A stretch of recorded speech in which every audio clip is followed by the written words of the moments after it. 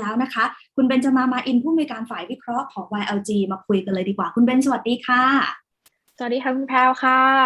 ทองคำเป็นอย่างไรบ้างคะคุณเบนเหมือนจะเขาจะเริ่มยืนได้แล้วหรือเปล่าเอ่ยหรือยังไงคะ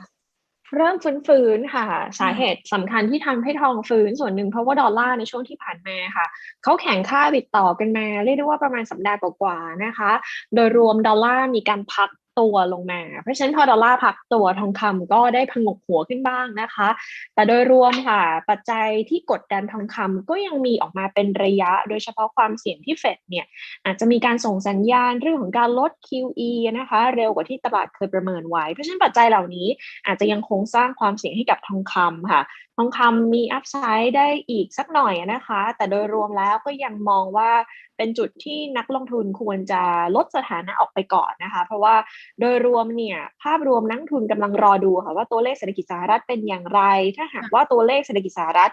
ยังมีโอกาสดีขึ้นได้ต่อเนื่อง ถ้าเฟดลด QE จริงทองคำอาจจะมีโอกาสลงมาอีกรอบหนึ่งดังนั้น หาจังหวะค่ะที่ทองคำเขาดีดณขณะนี้นะคะ ใครที่มี position อยู่เยอะเกินไปนะคะ หรือต้นทุนนสูงๆนะคะ จะตัดทำกำไร หรือว่าอาจจะตัดขาดทุนออกบางส่วน ก็ถือว่าเป็นกลยุทธ์ที่ดีค่ะ หลังจากนั้นก็รอการอ่อนตัวของราคาแล้วพิจารณาอีกครั้งหนึ่ง ถ้าหากว่าทองคำเขาสร้างฐานได้ก็ค่อยกลับเข้าซื้อค่ะเราลืมถามคุณเบนไปเลยค่ะว่าช่วงที่ทองแบบ correct ลงมาแรงๆเมื่อปลายสัปดาห์ที่แล้วต่อเนื่องมาจนถึงตอนเนี้ยบรรดาแบบกองทุนทองคำเขาเขาแอคชั่นอะไรยังไงบ้างไหมคะ จริงๆ กองทุนทองคำไม่ได้เป็นสาเหตุหลักที่ทำให้ทองปรับตัวลงนะคะ ในช่วงวันศุกร์วันจันทร์ที่ผ่านมาค่ะอืมเพราะว่ามาดู SPDR จะเห็นได้ว่า SPDR เนี่ย ขายออกมาน้อยมากนะคะ ลดค่ะการถือครองทองคำประมาณตันกว่าๆ ในช่วงวันจันทร์ถึงเมื่อคืนนี้นะคะ เพราะฉะนั้นเนี่ยปัจจัยหลักๆ ที่ทริกเกอร์ทำให้ทองปรับตัวลงเนี่ยเป็นมองว่าน่าจะเป็น COMEX Futures มากกว่าค่ะคุณแพรวเพราะว่าช่วงเช้าวันจันทร์ที่ตลาด COMEX Futures มีการเปิดตลาดนะคะ เปิดตลาดปุ๊บเนี่ยเรียกได้ว่ามีมีแรงขายออกมานะคะ ถ้าคิดเป็น contract ใน COMEX Futures เนี่ย ช่วงที่ทองลงจาก 1,750 กว่าๆลงมาทำโลที่ 1,680 เนี่ย ตอนนั้นมีแรงขายออกมาประมาณ 20,000 สัญญาในสัญในในตัว COMEX Futures เลยนะคะ เพราะฉะนั้นเนี่ยค่ะ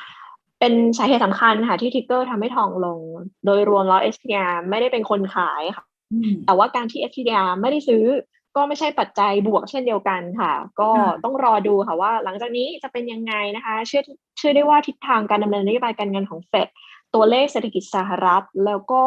ถ้อยแถลงคุณพาวเวลสัปดาห์หน้าค่ะ น่าจับตามองมาก ๆ ค่ะคุณแพรวเราน่าจะได้เห็นภาพชัดเจนมากขึ้นว่าแจ็คสันโฮลจะมีอะไรเซอร์ไพรส์ตลาดหรือเปล่าค่ะอืมเราขออนุญาตให้คุณเบนให้แนวรับแนวต้านเอ่อเอาไว้ให้หน่อยได้ไหมคะ วันนี้กรอบระยะสั้นที่เป็นดูจะแคบมากเลยค่ะคุณแพรวค่ะเอ่อต้านระยะสั้นดูไฮของเมื่อวานนี้ 1,758 USD ounce ค่ะ ไม่ผ่านนะคะ ขายนะคะ ยกเว้นว่าถ้าผ่านได้เนี่ยอาจจะเปิดอัพไซด์ได้อีกหน่อย เพราะว่า target ถัดไปอืมหลังจากผ่าน 1,758 เป้าจากการวัดเนี่ยจะอยู่บริเวณ 1,761 ถึง 1,766 ค่ะ จุดที่ผ่านได้แล้วจะเปิดอัพไซด์เนี่ยคือต้องรอให้เขาผ่าน 1,766 ไปให้ได้นะคะ อันนั้นอาจจะมีโอกาสขึ้นไปได้ถึงประมาณ 1,780 1,789 แต่ตราบใดที่ไม่ผ่าน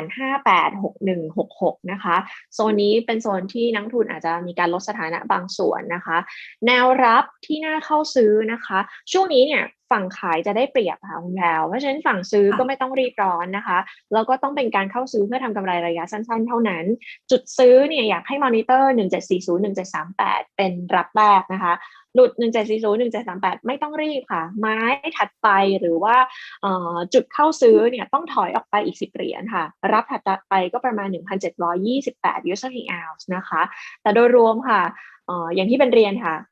แนวแนวรับอะนะคะ แนวซื้อเนี่ยไม่ต้องรีบร้อนซอยไม้ย่อยกว่าเดิมนะคะ แล้วก็แต่ละไม้เนี่ยเรียกได้ว่าวอลลุ่มก็เอ๋อน่าจะต้องเปอร์เซ็นต์น้อยกว่าเดิมด้วยนะคะ เพราะว่าค่ะเทรนด์โดยรวมทองคำตอนนี้เนี่ยยังมีโอกาสพักฐานได้ค่ะ โอเคค่ะ คุณเบนได้เลย วันนี้ขอบคุณมากๆสำหรับคำแนะนำนะคะ ขอบพระคุณค่ะ สวัสดีค่ะ ดีค่ะ คุณเบนจามามาอินนะคะผู้อำนวยการฝ่ายวิเคราะห์จาก YLG ค่ะคุณผู้ชมพูดคุยกันเรื่องสถานการณ์ราคาทองคำนะคะ ในระยะสั้นๆ ยังคงต้องเฝ้าระวังอยู่นะคะ กรอบการเคลื่อนไหวที่ทาง YLG ให้ไว้ค่อนข้างแคบเลยทีเดียวนะคะ คุณเบนแนะนำว่าหากบางช่วงบางตอนที่ราคาทองคำดีดขึ้นมาเนี่ยอาจจะใช้จังหวะนั้นในการพิจารณาขายทำกำไรนะคะ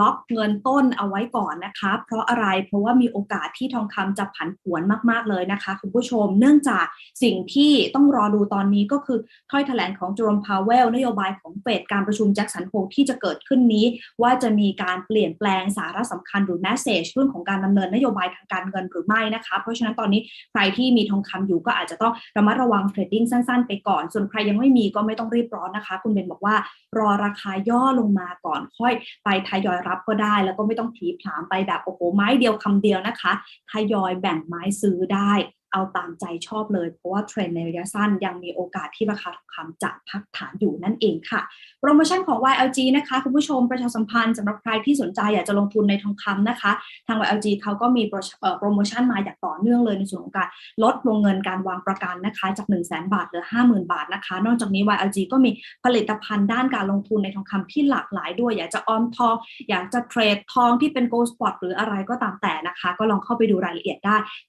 ผ่านช่องทางต่างๆ ของทาง YLG นะคะ ทุกวันนี้ก็สะดวกมากขึ้นมาก ๆเลยนะคะคุณผู้ชม